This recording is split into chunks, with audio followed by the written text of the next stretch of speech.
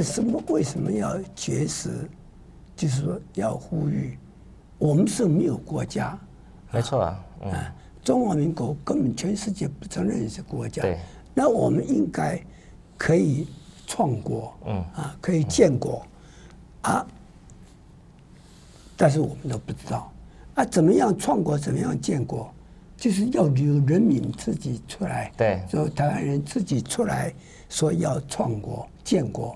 黄华前辈，那个联合国两公约，我们常常在讲人权公约，它的第一章第一句话就强调的是民族自觉。对，后面漏漏等谈什么妇女劳工权益，甚甚至性别，我们常常在谈哦联联合国两公约，所以如何如何。其实它的第一章的第一节开宗明义就谈人民有权利决定自己的国家跟未来。嗯，其实联合国宪章。第一条就讲到，他是为追求维护世界和平，啊，尊重世界各地民族都有民族人民自己民族自觉啊。那我们台湾这个，我们一直被国民党、被中华民国政府，这个根本不是中华民国啊！这个政府呢，一直被戒严统治那么久。人民都不知道多害怕啊！呃，台湾人都不管政治事情啊，都不晓得。那你看，我们我们要参加联合国也不行，这个嗯，很多世界组织都不能参加。你就为什么？就因为你不是国家啊！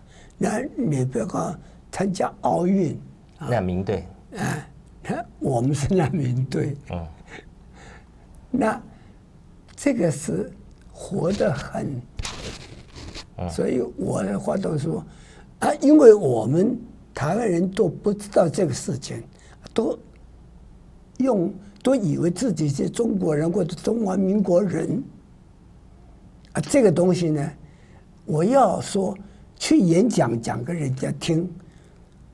到处去演讲，没有人会听，而且大家很奇怪，啊！我用绝食，然后呢，让大家注意说，这个最激烈的事情没有错，这是爱回报力。我不能，并不是说我去杀人，制造新闻。你杀了你自己啦，你这样不行啦。那所以用这个绝食自苦，这是一种爱与回报率啊的方式。那么好，我请问黄华前辈嘛，你用绝食的方式，你的目的是要把你的理念传播出去吗？对，你每你来我这里一个星期做一次固定来宾，你不要绝食，我让你坐在这里讲，好不好？意思是一样的。我们这里更多人，海外都看得到，中国的网友都看得到，中国人听你的这些说法，听着听着，刚开始可能会砸电视、砸电脑、摔手机，慢慢听一听，他总然知道说，哦，原来他们也是被骗了。他们跟我们一样被骗了，人总是要还人公道嘛。那台湾到底是不是一个中华人民共和国辖下的国家？其实我曾经讲过，蒋介石跟孙中山的，他呃，蒋介石跟毛泽东的战争早已结束，跟台湾没有关系。是蒋介石呢落跑，他本来要去海南，后来呢不知道哪个金接错跑来台湾，对不对？那你们要追杀蒋介石，你们尽管追杀，跟台湾人民无关嘛。对吧？好，对不起啊，继续。这个你在这这样强调更好。我现在要告诉大家一个最近才解密的东西，以前更不知道。尤其跟着蒋介石跑到台湾来的，那个时候一九四九年，有两百万，对，几乎哎有两百万。里边包含五六十万的军人，对，包括郝柏村他们，对。你们知道，你们被蒋介石撒了一个谎大骗，你知道吗？你说他说要，你们都要想要，包括郝柏村都在骗人说要这个。反攻大陆，那个时候都要反攻大陆，回大陆。那时候还骗台湾人说啊，你们这个大学毕业到中国大陆去，每个人都可以当县长，嗯啊，所以将来光复大陆一切前途都有了，嗯。啊，但是有一个一件重要事情，你们可能不知道，就是说日本在旧金山合约，嗯，签订这个放弃台湾澎湖。只放弃台湾澎湖，不是像国民党一直撒谎说台澎金马，根据开罗宣言呐，这个归还中国。嗯嗯啊，那这个是蒋介石在距离的合约签订前，对，美国杜勒斯跟作为中华民国在美国的驻美大使顾维钧，嗯。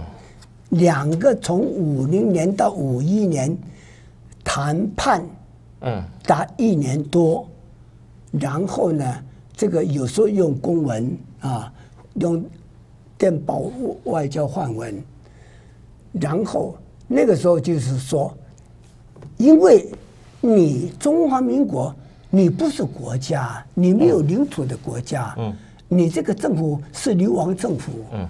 我们跟你有邦交关系，是我们承认你是流你是中国唯一合法政府，因为中共不愿意跟他建交啊。那这个呢？而你这个国家没有领土，那台湾澎湖在嗯哼，旧金山在跟对日本合约签订前是地位未定。嗯嗯嗯。那。不是，绝对不是任何国家的领土。对啊，是日本的领土。对啊，日本殖民地。对，我们再来讲一个时序哈。哎，开罗宣言有没有效？你们就想想看。开罗宣言是一九四三年五月一号。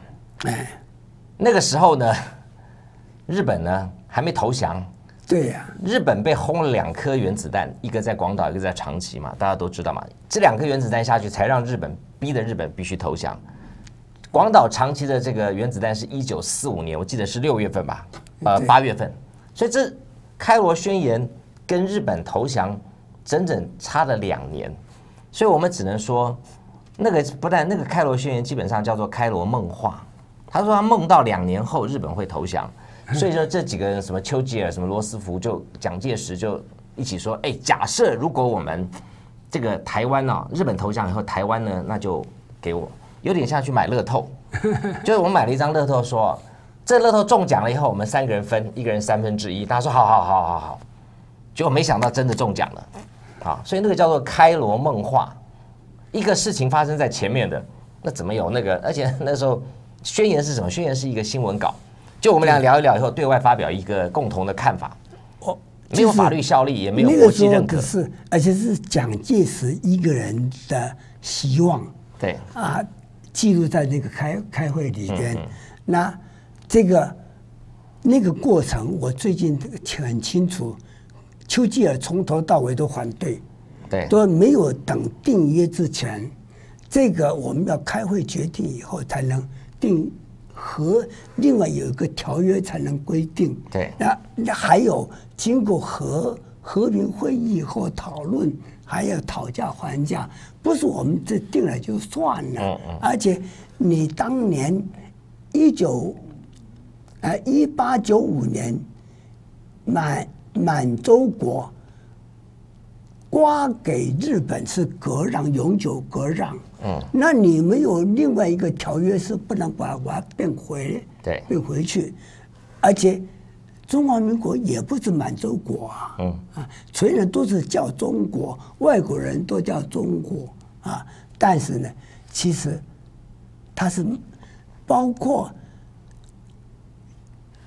孙中山都讲过，中华民呃中国亡国两次，嗯对，一次给这个成吉思汗消灭的，元朝是元朝他统治，元朝都是。服装不一样，各看人服装。哎，那那个另外一次就是满人、满洲人来占领，从东北过来啊。那你就讲的说这两次啊，后来你成立中华民国，在制造一个中华民族，以前根本没世界上没有中华民族啊。嗯，中华民族这个名词是那个梁启超，嗯，一九呃一九零二年想起来的。他说自己编的。中国过去只有朝代，没有这个国国民国家。嗯，那这个他也想把。这个汉满蒙回藏都合起来，就，呃，例如说，他他是这这这样想，然后就发明一个中华民族，嗯，啊，他又为着要成立中华民国，而，发明一个中华民族。在这个之前，你在一九一零年以前，你看全世界。有中华民族这个名称吗？你看看历史的书，有中华民族的名称吗？包括中国的历史书里面，你也看不到中华民族这个词。所以呢，我刚才有一段最重要，就是说大家被骗了，才被骗了，就是说杜勒斯跟顾维钧。从一九五零年到一九五一年，谈那个时候，杜勒斯跟顾维钧讲说，台湾不是国家，所以你这个参加，你没有你，你不是国家，你现在是流亡政府而已，所以你没有你没有资格派代表去参加和平会议。嗯嗯，那中共。一九四五年以前，中华人民共和国一九四五年以前还没有诞生呢。对，啊，所以那你就那个时候，你也不算是日本的交战国。对，所以那个和平会议他也不能参，哎，跟他无，他也不能参加。那我们这个安排日本在旧金山合约。只是说放弃台湾澎湖，嗯，没有什么照跟开罗宣言，对啊，那这这第一点，第二点呢，因为这个还有写到美国，哎，美国是日本领土的主要占领全国，啊，嗯，那台湾是日本领土嘛，啊，所以呢，只要有这一点，那我们还继续有你。我们美国同意，你就可以继续在台湾，嗯啊，要不然你要被赶走了，啊啊，这个杜勒斯跟顾维钧，顾维钧谈了一年，然后顾维钧得到蒋介石的同意，说，而且蒋介石同意把这个同意书、同意的文字交给这个。杜勒斯，嗯，然后呢，它变成合约的附件，啊，而且呢，从此以后，你就我的意思就就是在合约，日本放弃台湾澎湖，是蒋介石在一九五一年以前同意附附在这个。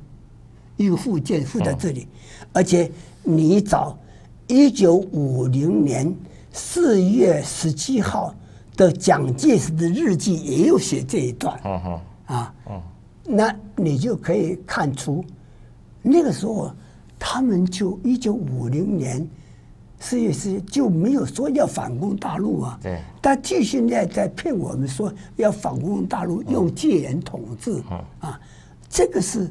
一个大谎话，嗯，胡说八道，不过被他带来那些难民啊，都受骗了。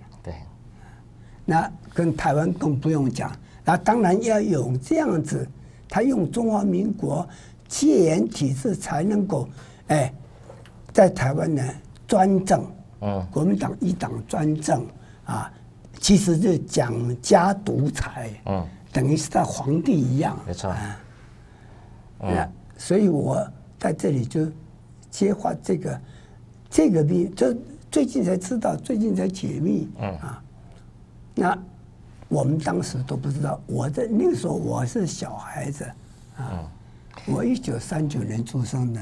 OK，今年刚好八十岁哈。哎，黄前辈，你休息一下。呃，观众朋友，黄先他的那个身体现在就蛮虚弱的，喝个水。好，我们休息一下，马上回来。